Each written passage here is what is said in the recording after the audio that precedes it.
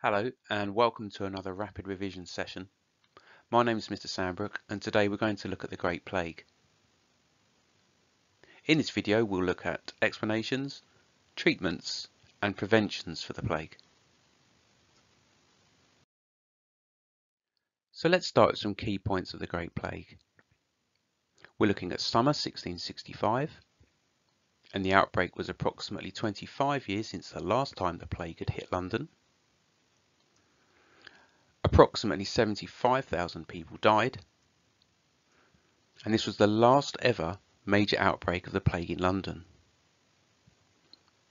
And other parts of Britain were also affected by the plague in this summer. So let's look at explanations of the plague. Our key point is that these explanations had not changed much since the Middle Ages. Firstly, rational explanations. Now these were mostly based on miasma theory, the idea that bad air caused disease. So people looked at the movement of the planets, as well as the filth around them, to explain why the air was bad. They believed that this led to miasma, which in turn led to an imbalance of the humours, which would make people sick. People also believed that person-to-person -person contact was a key cause of the plague. But like in the Middle Ages, people also turned to the supernatural. They believed everything was the result of God's will.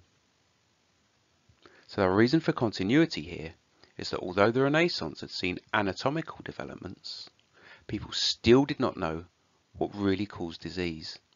So their explanations hadn't changed. So let's look at treatments. And again, we have continuity here.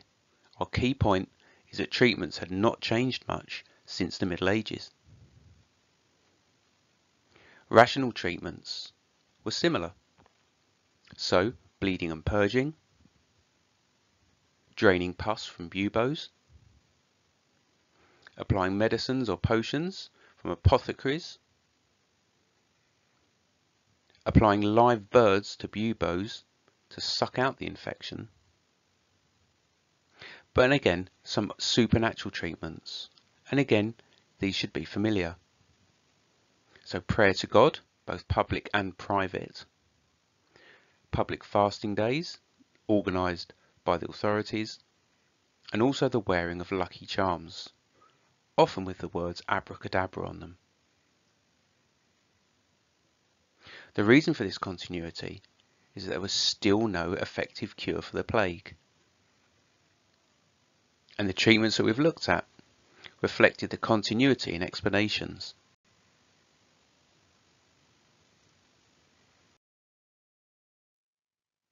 So let's look at how people try to prevent the plague.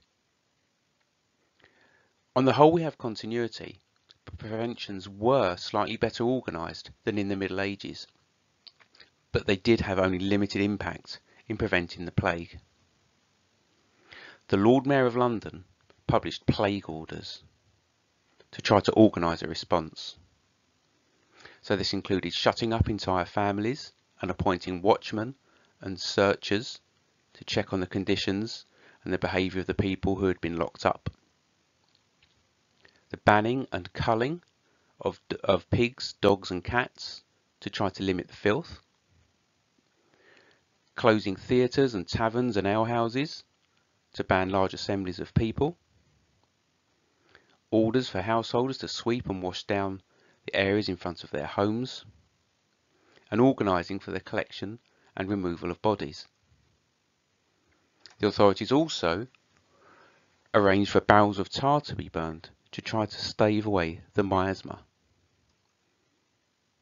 And it was local officials in parishes that were ordered to carry out these actions. Now the reasons for the limited impact of these is that some people ignored the rules and hid their symptoms. Resources were limited, it was hard to find watchmen and searchers. And the government did not give the Lord Mayor of London their full backing. Many did not want to be shut in and many of the government left. So here are three ways that you could take your learning of the Great Plague further. Remember, there are lots of other rapid revision videos on the CHSG History YouTube channel.